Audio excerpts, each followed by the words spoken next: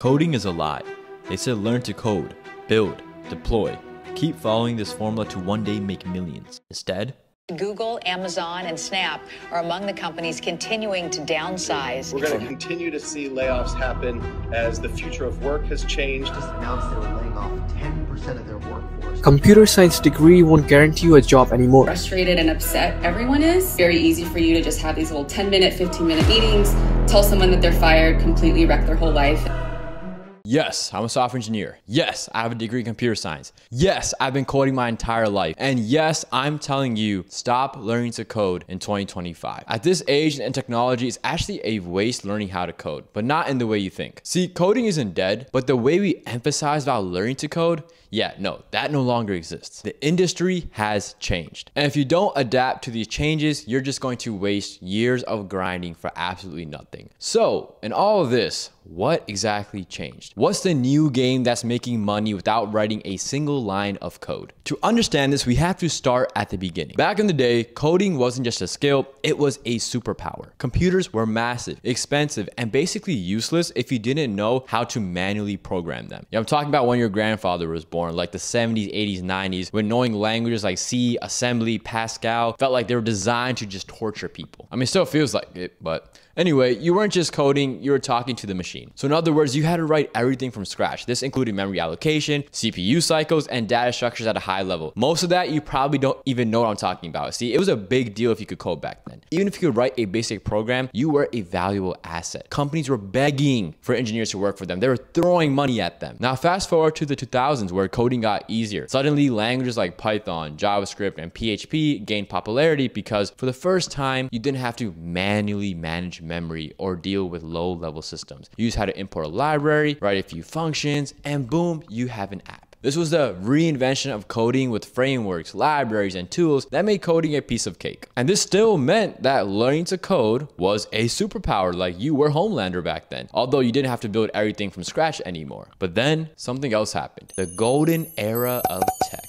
If you knew how to code, you were basically printing money. This is talking about like 2015 to 2021. You see, your dream companies like Facebook, Airbnb, Uber, and Stripe were just startups coming into business. Everyone needed software engineers and everyone wanted to be software engineers. This meant that salaries were crazy high. I remember my high school teacher telling me, man, when you graduate college, you're earning six figures, no doubt. A CS degree basically guaranteed you six figures. You see, companies were lined up to hire developers. But then towards 2020 and 2021, everyone caught on. The secret to success was out. Every YouTuber, every bootcamp, every TikToker, every online course star is saying, learn to code. And suddenly, the market flooded. Tech jobs that once had 50 applicants now have 5,000. Companies started laying off engineers instead of hiring them. And this is what happens when everyone starts doing the same thing. It, it stops being special. And the worst of all, AI showed up. See, at first, AI was a cool assistant. It help you do your homework. It was like a little cheat code in school, right? It helps fix small issues, or end stuff for you, but that's all it could do. And now AI is literally doing everything you could do and probably beyond. In fact, it's probably better than you. Tools like Cursor AI, Copilot, Codium aren't just assisting anymore. They are replacing the need to do anything from scratch. So the real question is, if AI can code, what does it mean for you? Now imagine this. You spend months learning Python, JavaScript, React, grinding LeetCode, doing 500 LeetCode questions a day to get your dream FANG job. But then some random dude who barely knows how to write a for loop builds a SaaS product in two weeks using AI and he's making 30K a month and you're still trying to pass your first tech interview. This may sound absurd, but sadly, this is the reality. Have you heard of Drizzt GPT? The guy makes like 25 million a year. Now, on the bright side, people still believe that you can make money with tech. So I guess that hasn't changed. It's just a matter of how. The skill doesn't lie in coding. It's about knowing how to make use of available tools to build things that are efficient and built in a timely manner. Think about it like this. People used to build houses brick by brick. Then came power tools. So we now have machines that build houses in just a matter of days. And the people making money today, they're not the ones laying the bricks, they're the ones using the tools. So if your whole plan is so to learn how to code and get a job, you might be in for a rough and long time. But it's okay, you don't have to panic. I'm here to save you. If you play this right, you can actually win bigger than ever before. But to do that, you have to understand what's actually making money right now. Typing every single line of code manually is such a millennial thing to do. Lucky for us, AI isn't just a tool anymore anymore. It's a developer's assistant, and in many cases, better than most junior developers. Think about it. Would you rather spend three hours debugging a function, or would you let Cursor AI or GitHub Copilot fix it in literally three seconds? See, here's what most people get wrong. They assume that AI replacing manual coding means coding is dead, but that's not true. Coding is still valuable. In fact, it's still one of the most number one skills to learn, but it's not about writing code from scratch anymore. It's about how to use AI to accelerate development. It's a concept called vibe coding, literally using AI tools to help you build. Think of it like this 20 years ago, if you wanted a website, you had to code everything the UI, the backend, even the databases. But today, you type in a prompt in ChatGPT and boom, your code is ready. Or you can use Bolt or Replit and you get the same result. But what if I told you that you don't even need to write real code to build an entire product? I know it doesn't make sense. See, AI is great at writing code, but do you know what's even better? Not having to code at all. You can now build fully functional SaaS platforms, automation tools, and even AI powered businesses without writing a single function. In fact, this is what Mark Zuckerberg had to say about this whole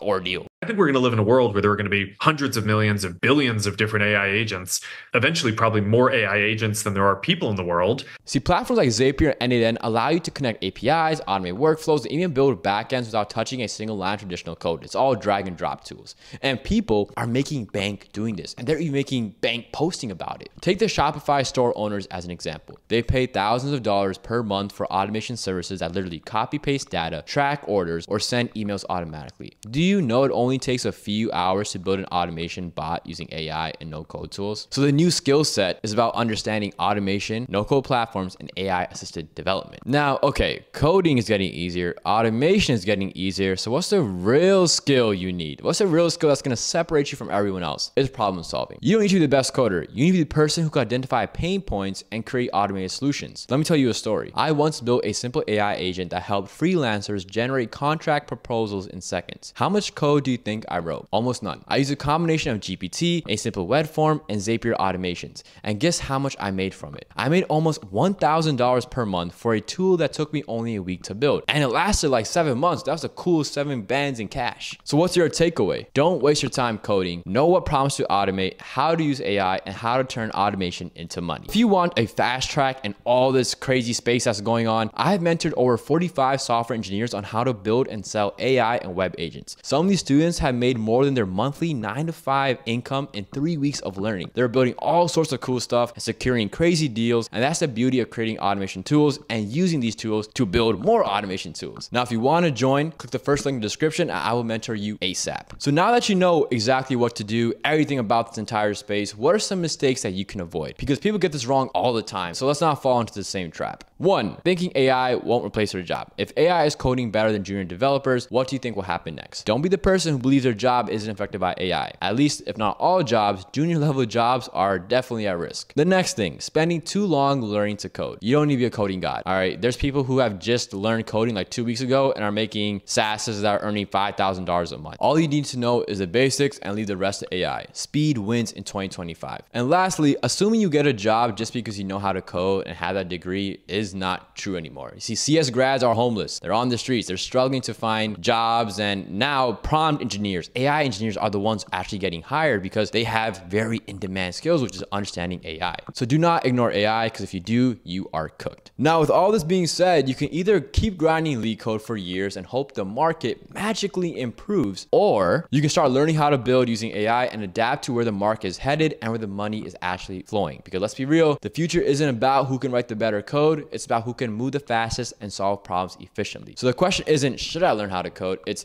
how I can use code to build the life that I want.